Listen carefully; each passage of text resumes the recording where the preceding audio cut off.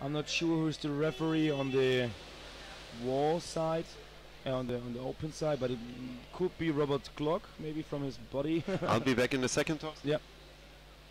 So we see now the game is starting. So Bamberg started to, to with a cluster here in the in the midfield, and uh, fortunately we cannot really see. So the team is here very hard, physically working at the surface for the ball. Signal from the referee, from the deck referee here. From the position we can see that Akron is going on the defense position, so we assume that the ball is in favor for Bamberg now. You see here Yeah, so Akkaren is here focused in the defense. This is Niklas Tada with the number 12 here who got lost the ball by a very tough hit. Now he received the ball back, passing to Andy Weisenberger. We can see here Hannes Treiber supporting now here, going up, passing the ball through. Oh, maybe there's the next class. Sebastian Lange here now attacking, coming up.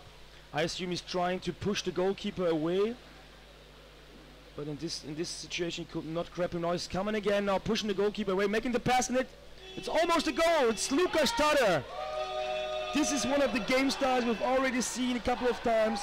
Sebastian Lange in a team play together with Lukas Tada. He's attacking the goalkeeper, rising the goalkeeper up, while Lukas Tada is sitting next to the basket, receiving the ball and immediately pushing it in. So this was a very great one after just 90 seconds of played game. So again, Bamberg could start very, very tough and dominant into a match. This is what they've trained probably a lot to come from the very beginning. Uh, and we have unfortunately frozen. Now we see here Hannes Hoffmann, the captain, passing the ball here to Sebastian Lange again, who passed through to Jan Hoffmann. Or it's it's Veit Hoffmann with the number one. and that's all right. So we can here see Hannes Hoffmann, the captain, who is in position. But even the Akron team here right now, still playing defense position. So we have you have missed. Wolfgang is back here. Wolfgang unfortunately missed the first goal. It was a very nice one. We could see Sebastian Lange from Germany, the German goalkeeper, um, who was again grabbing the leg of the of the uh, the goalkeeper, pushing him up, passing the ball down to Lukas Tarek, the the coach, and he immediately. Um, thrown the ball into a more or less empty goal. So this is such a game style we've seen yesterday a couple of times, if you remember. It, it, it's nothing like it's nothing magic, but it's so well rehearsed. You see, Yes, definitely. th- it's so well done. They perfection it. Yeah, That- that's yeah, it. yeah. now the color is changing a bit in green. Don't worry. and we have uh, free floating objects uh, Yeah. right in front of our uh, camera. Call from the referee. It looks like a referee from above. It's a free throw against uh, uh, Akkaren. It's attacking the mask or something like that was their signal from the referees. Now we can see here Veit Hoffman with the number one who's trying to steal the defender position, but immediately he's going up to the surface. This seems to be, I've seen this yesterday a couple of times, this seems to be just a fake action because never this, this per, uh, person is uh, staying or so laying there for lying there for a long time. So they're just placing a, a person at the basket to force the defending team now here to dive uh, to go close or fast to the basket to maybe to have a bit more space for the free throw. Go. another Oh, one. that was a very close one. Uh, there was Treiber a who made a uh, very, gap. very good attack here. And it's uh, Niklas Tada here with the number 12 who's trying to support. He's attacking immediately, bringing pressure to the ball. On the other side, we see Akram now in ball possession, trying to bring the ball out of their own half. But they're really, though, the Bamberg forechecking is very, very massive.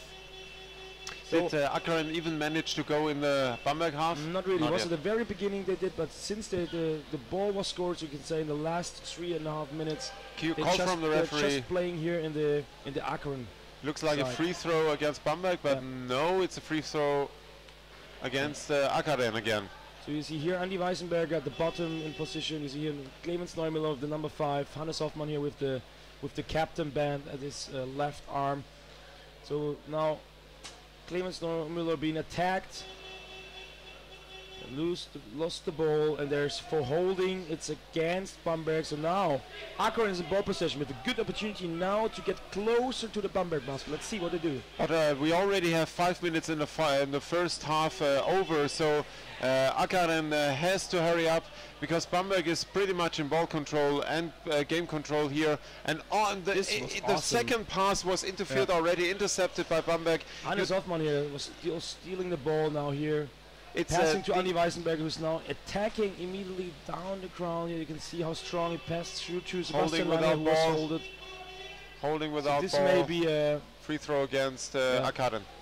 This might be another foul. So Akron now he needs to take care here not to receive a time penalty because we had a lot of free throws now against the uh, against the Akron team so far. So we can tell we can say about five five free throws for Bamberg versus one for uh, Akron, and this in the first you can say six minutes so far. So Akron really needs to take care here not to receive a time penalty for attacking head or mask. And you see here even the referee showing advantage. I'm not sure what he's seen, but was giving the advantage. And here we see several. This is for a Veit. Hoffman here now having the ball, passing on the other side. Call from the referee Yeah. again. A free Very throw against Akkaren. I think there is a lot of pushing involved because the I think the referee is coming to the surface. Maybe he's giving a personal warning. I'm not really sure, but but as we have seen now, there's seven minutes played. It's a six free, the sixth free throw for Bamberg so far. So uh, And- and Bamberg goes- take care. Bamberg goes in so tight in the defense, Yeah. so it's uh, almost impossible not to push them if you want to move Yeah. yourself. And the pressure they raise on the Yeah. Basket is uh, is again amazing, and the precision they have around the basket, the ball throwing. So if you move the current players want to move Lucas and want to be in the way, they, they it's almost impossible for them But not if you to see, push. even they're losing the ball now. There's a first good chance for Akron You know, Can they come close to the basket? Well, is this is the first one. This is a good chance, attack. but it took This a little bit too well long. Ball is free, recovered by. Uh, You're seeing the attack was very good. The attacker was was forcing the defender to really attacking immediately at the right or the open side, but he was not trying to score. He immediately passed the ball through Yeah, on the other yeah. side and made a certain level of block. they they don't do the obvious. Yeah. They do the second That's thing. it. This was very very well done by Akron. Unfortunately, could not make this goal, but um, tried to bring the ball again back on the open side, but the player has not been there anymore. So just Bamberg player could just pick up the ball, and he was in Niklas Tada here in the, the fight at the basket who lost the ball. And now there's another fast break from from Akron. So Akron now is maybe more comfortable in coming very quick at the Bamberg basket. They have to open up. They have to. If they they if they play on like this and just defend, they will lose the game. So they have to open up Yeah. and go for the German basket. But this is the risk of uh, getting a fast counter attack. And if Bamberg comes through with three players against a normal defense, there there is a goal. this was uh, so far the best best chance here for uh, Akron here. When you have to see a counter attack with two players. So you see here, even even Bamberg was very dominating the first half so far. Akron is always um, is dangerous and always in the in the um, in, has always the chance here to score. So there must be always a certain level of concentration and of course uh, proper play. Also Bamberg is forced to really play, really proper. Every mistake here can uh, lead to an to a goal. And now we see here uh, Veit Hoffman passing the ball to Andy Weisenberger giving to Sebastian Lange, who's now coming again back. We probably think he's and, again pushing away the goalkeeper, but there was no opportunity for a score. So there's another free throw.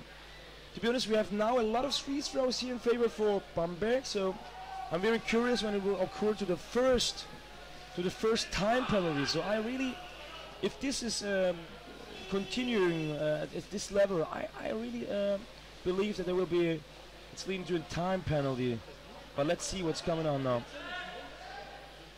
Again, so Akron is so often winning the ball, but they don't manage it to bring it over through the midfield.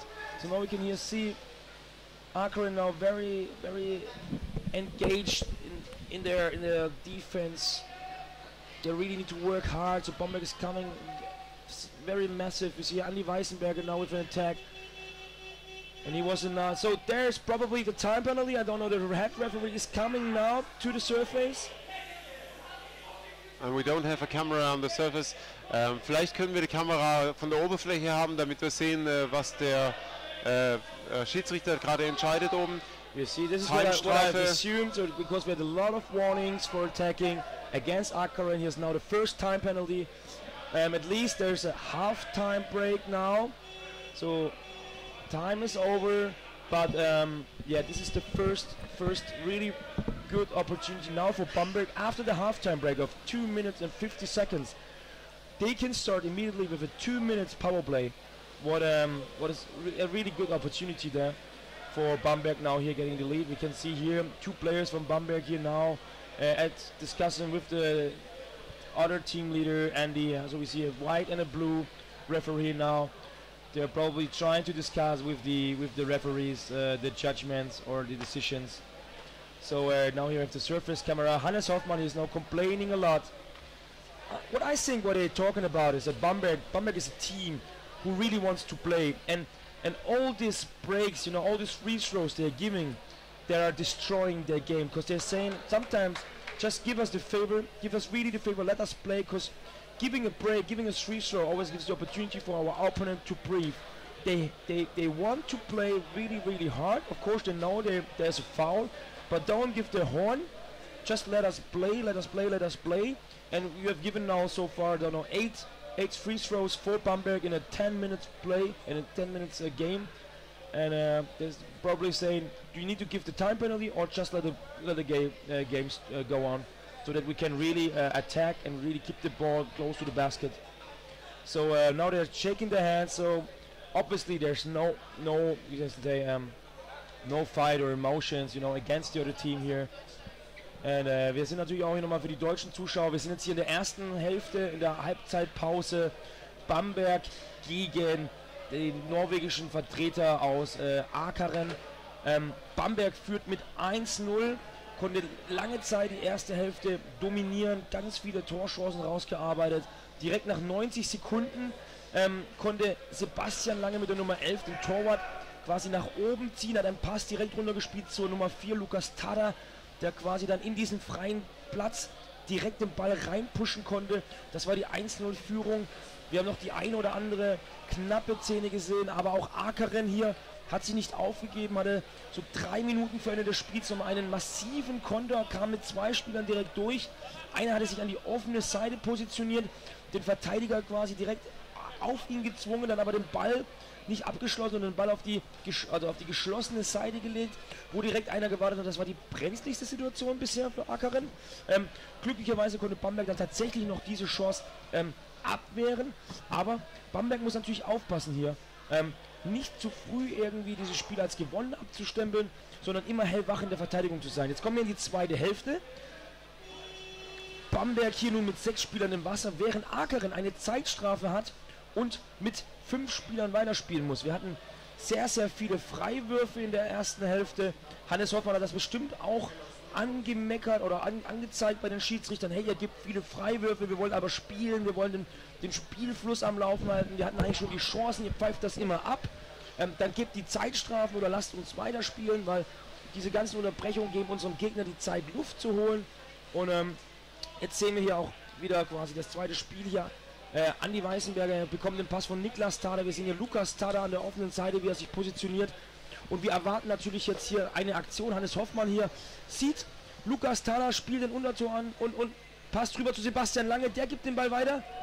Erste gute Aktion, Lukas Tada hier nimmt den Ball auf, ihm geht wahrscheinlich die Luft aus, passt rüber zu Andi Weißenberger und der sieht jetzt den Spot, rüber zu Hannes Hoffmann, kriegt den Doppelpass, haut rein, ja, da wollten sie den Pass zu viel spielen Abgehupt vom äh, abgehobt. Schiedsrichter. Die ersten, die ersten 1 Minute 15 der Zeitstrafe somit zu Ende. Freiwurf für Akeren. Ich denke, wenn sie jetzt klug sind, spielen sie diese Zeitstrafe noch vollends runter. Dann sind wieder 6 gegen 6 im Wasser. Und äh, Bamberg hier aber immer noch mit der 1-0-Führung in der Hand. Akarin versucht sofort den äh, Ball, äh, den, den, den Kopf von, auch von Bamberg zu klauen. Er hat nicht so ganz funktioniert.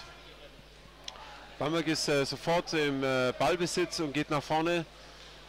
It's amazing how fast uh, Bamberg interferes with the, with the game of uh, Akkaren here and even uh, uh, destroys and takes over the free throw, which should be in favor uh, of the team uh, doing it. What I'm a bit wondering about is that, for example, Akron, as, as also a very well-experienced team, they're not really able to keep the ball in their own in their own um, in their own team. So they're they're passing. Yeah, I don't know two, three, three passes, and then the ball is lost. So, for of course, if you remember, we had a, around 30 seconds left in their time penalty. Um, after immediately, not not even 10 seconds, Bamberg got the ball Call back. from the referee on the surface. Free throw against uh, Akkaren. So it's very hard for Akron here to really play a proper game, to bring pressure on the Bamberg baskets, um, due to the reason that they are losing the ball quite quick. So Akron really needs more to manage their own ball possession much better. So when they have the ball, you can you can wait for it. Two, three passes and the ball is lost. They need definitely to, to improve this. So we see Hannes Stryber here with an attack at the at the goalkeeper immediately. The goalkeeper have- changed, so there was no chance to score. You know, Gesa Todd tried to pass to Lucas Tada, who broke up now, keeping the ball down. Lucas Tada here, looking for his teammates. And here's the next one. So we see here Veit Hoffmann here in the front. And here's Nussi with the number 14. But the ball here now. Yeah, so there's another cluster. It's a free throw now for Akron. Let's see Akron. Come on, guys. We want to see more than three passes. Please, they need to try to keep the ball in their own position. But now we have the first pass, the second, and you see the ball is lost. So this is this is very very hard for the Norwegian team here, really to get in a good ball Oh, this was a nice interception by Akkaren This is what I think what is more or less the Akron, Akron um, favorite game style. So they're trying to catch balls out and then immediately starting counterattacks. This is when they were when they are really aggressive but and successful. it, it was like the game when the Colombians played. Yep. Uh, the, the Turkish were what just a split of a second behind them. Yep. They, the Turkish are very fast, so is Akkaren here. But Bamberg in this game is a split of a second faster. So the, the Akkaren team is lacking behind and running behind the ball play and the swimming of Bamberg. And this makes it very very difficult to, to build your own game and to Yep. play your own system when you're always running behind the game of the other one. It's well done by Bamberg here. Is Here now Sebastian Lange again attacking the goalkeeper. Of course, oh, he's Oh, very was massive in his strong with his strong arm. Heavy Akron push. tries here really to get the ball, but he's a very hard physical playing physical playing player. You still see here him still with the ball in his arm. Now here twisting around, passing to Andy Weisenberger. Is- who, yeah, his ball dropped in front of Andy Weisenberger. We can see here. It, it looks like the, the, the ball is uh, repelled by, by Yeah. from Akkaren because it's always in the hands of the Bamberg players. It's it's amazing. You see them losing the ball, recovering it, losing the ball, recovering it, and Now still pushing forward. on the open side, Andy Weisenberger giving And the this is a pass. This is classical a- combination. Definitely, this was very very close, very well done here. But and then Lucas Tada now giving the ball back to Snussi, who probably sees Hannes Hoffmann on the other side of the basket, but he was yeah. Now he's he's immediately got in the cluster. So this is well done by Akron here. Now they know what is important to do. The, attackers here from Akron are making a good job here, supporting the defenders and the goalkeepers here. So far there was not a really proper, uh, not a really 100% chance for Bamberg so far. So now Akron here in ball possession, but the player immediately went to the surface. And this is also quite hard for for a team now here because immediately they lost the ball again, as I see here. There's another cluster, and Bamberg is uh, swimming through the ball. Now here, the captain of Akron could win the ball, but he has thrown it away. He expected his players coming from the bottom and taking up the ball, but there are more Bamberg players than uh, players currently underwater. And that's a big difference right now. You see here the pressure, the power Bamberg is putting in, the, the time they spend underwater, the, the attacks they're doing. So it's very, very frequently. It's constant. It's It's, yeah, yeah, yeah. It's like uh, Karen doesn't have Yeah. time to take a breath, and when you are on the constant attack on your side, your team is, is changing uh, all the time. So they are all again lacking behind a little bit. Yeah, and always the effort that they bring in. Like, oh, this is the next good chance. And you've seen this. There was This already was a, a, call this was a defense uh, failure made by Yeah, Akron. that's yeah. The player, the defender, Nice. left the goalkeeper. Probably was out of brief, attacking the Bamberg player, trying to get the ball with a surprise attack. But it was maybe it was Veit Hoffman. He expected this attack. He pushed the defender a bit up, so it's spaced down. He passed to Andy Weisenberger, and then the the replacement for the defender out. was not um, was not early enough at the basket. So Andy Weisenberger could very fast and at the at the floor, at the bottom, coming through the basket, and he scored immediately.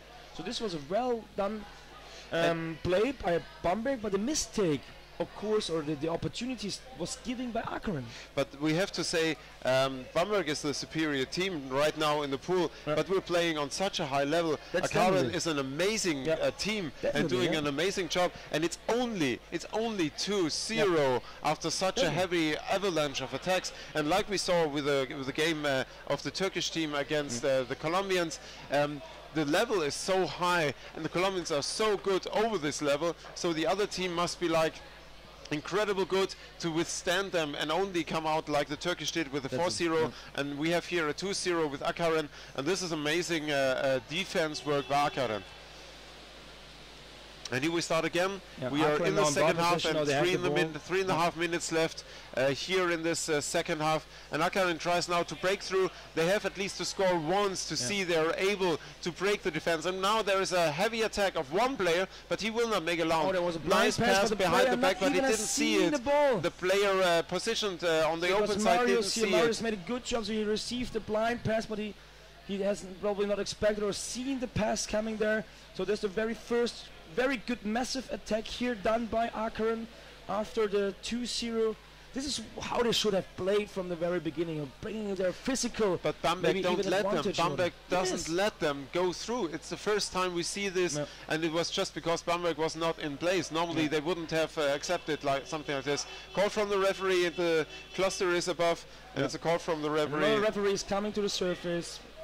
Will be another? No, it's just Free checked up throw the situation. against, so uh, nothing. Just this free throw.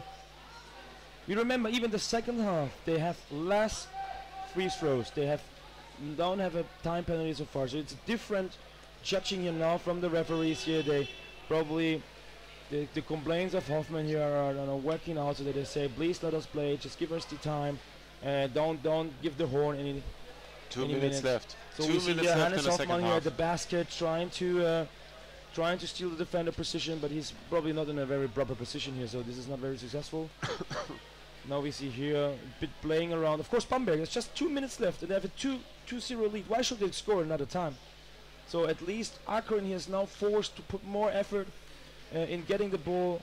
Now here we see Hannes Hoffmann with the ball at the basket, making a blind pass. This was awesome again. This was they, they were concentrating This on Hannes Hoffmann in front of the basket and they gave the ball to his right on Hannes- the close uh, side to the player and he scored and all the the current defenders were uh, concentrating on Hannes Hoffmann in front on of the, the basket. Hannes Hoffmann, he received the ball, was with his back um, towards the, the, opponent uh, basket, but he has seen in his maybe side eye that there's Clemens Neuer with the number five coming from the ball, so he, he just pushed the ball blind backwards, and immediately this, this ball was a perfect pass for Clemens Neuer, who could with speed and uh, with, with his action and technique immediately score. So this was a very nice team play from Hannes Hoffmann here, together with Clemens Neumüller. 3-0 against uh, Akron in uh, Bamberg uh, in blue and Akron in white. We have uh, less than a minute left here in this game and Bamberg is dominating this game uh, pretty much and uh, it will be great to see um, them playing, like I said, yeah. against Colombians Yeah. or uh, Flipper.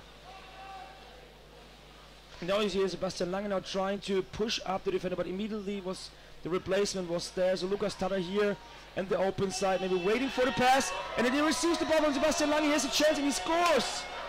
He scores. Lucas Tada here. But this is also such amazing. Sebastian Lange with his massive body is jumping into three, four players. They're all trying to get the ball. They coming with him. He's he's magically pulling the players up from the bottom line and there's still Lucas Tada waiting with a lot of space. There was no defender, there was no attacker, and he even had a even almost two seconds time to score. This is this is too much for Lucas Tada. This is a situation he, he probably always is always scoring.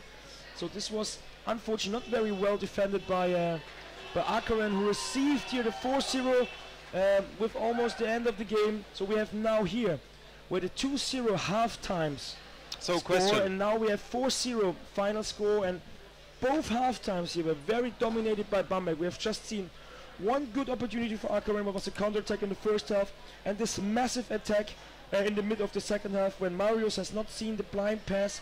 This blind pass dropped at his back. Unfortunately could not see this. This was also a very very nice chance. But on the other hand we had Bamberg with so nice beautiful um, you can say dream passes We have seen the blind pass from Hannes Hoffmann to Clemens Neumüller. We have seen the the massive pass when Sebastian Lange pulled the almost entire defense from Akron up to the surface and was throwing the ball down to Lukas Tada who scored the 4-0. So um, even the, the first game style when when um, then the first score when Sebastian Lange pulled up the goalkeeper, passed to Lukas Tada. So you see here certain certain teammates who can really play good together. And Yeah. we have seen uh, Veit Hoffmann, who was attacked by the defender, has seen the gap, passed to Andy Weissenberger, who wants to make this 2-0. He immediately jumped in. Amazing so uh, memory you have Yeah. there, Thorsten. I'm impressed. So, um, funny fact, um, uh, what do you remember the score that was uh, the Orcas against Akkaren? 5-0? It was also a 4-0. 4-0, yeah. So we see the two teams against the, Yeah. the Akkaren, and we saw Bamberg and uh, Orcas against Akkaren, and they have the same score. Who's so playing the, the semi-final then? So Bamberg is meeting Orcas or who they're playing against? Do you know this? No, I don't know. We need to check this out to see who, who will be in the semi-final then. Question, uh, Thorsten. Mm-hmm. Do you see a different team uh, in Bamberg than you saw last year or the years before? I think the, the main difference between Bamberg right now is that they really love playing. You see how they're passing. the last times, they're they this this is for example Tense, this, more this, tense. Yeah, tense. This game they're playing right now. This is what I know from the league. So when they're dominating, they're playing around. You know, it's a bit tricky, sometimes a bit risky.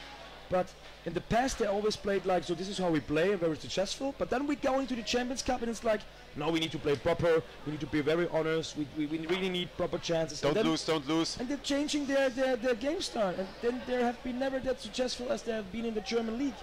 So what they have seen so far, this is what they need to continue. Just play. Just let the ball fluing around, playing around. Have The fun. referees need to be need to be awarded. They need don't stop the game all the time.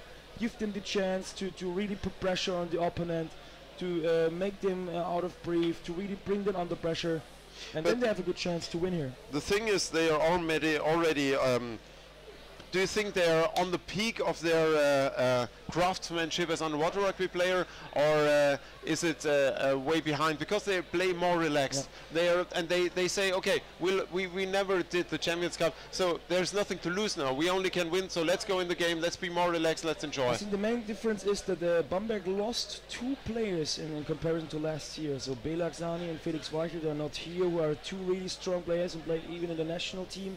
So the team needs to come closer together. So they've trained really, really much. They spent a lot of time together. They've, this is really, if you see Bamberg in their free time, this is a family. So they're not even training together. They're almost living together. This is this is very nice. And this is the first time you really see that they're really playing each other so so familiar. They know each other for 12 years, but of course they all. Even they brought new players in. You have always the feeling it's like a core of Bamberg and some players playing around with them.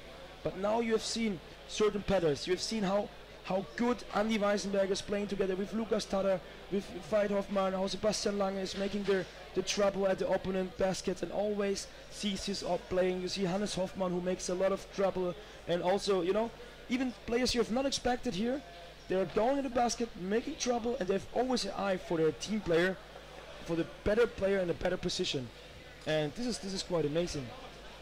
So now we see here the next game it will be Flipper against the team from Czech from uh, Budweis. Budweis. So um, My guess is, uh, I think, and this is my estimation, Flipper is a is a furthermore defending team, Yep. and uh, so is Budweis. But both teams are able to counter, uh, uh, to, to swim fast counters and to attack. But they both are very good in defending their basket. So seeing these two ga- two teams uh, facing each other will be interesting. I think Flipper brings a little bit more mass, a little bit more. Um, Probably not experience. I think they are uh, both on the same level. Yeah. But these two teams saw everything, played everything, and it will be interesting to see how they react with each other. You know that Flipper, I assume Flipper is coming very, very massive from the bottom line. And the usually attacking style or pattern from uh, from Flipper is really to play at the ground floor and keep the ball at the ground floor immediately to have two or, or sometimes even three players very, very close to the basket. So, so Budweis really needs to to protect that basket. As soon as a Flipper player gets in position, maybe the defender position, or can steal the defender position, Flipper will come massive immediately from the ground, and this is very, very tough then to defend. So um, I assume, I expect, I would say Flippers here the, the favor to give win or in favor to, to win this game. Um, but let's see what uh, the Budweiser team is doing then. They won yesterday against Boston, I remember. So they 2-0 victory uh, over Boston and the other games they've played. Which, uh, Boston uh, was uh, 2-0. Yeah, 2-0. And they played against Flipper Piranhas. and they've played against Riemen and they lost 4-0 against the last year uh, victory.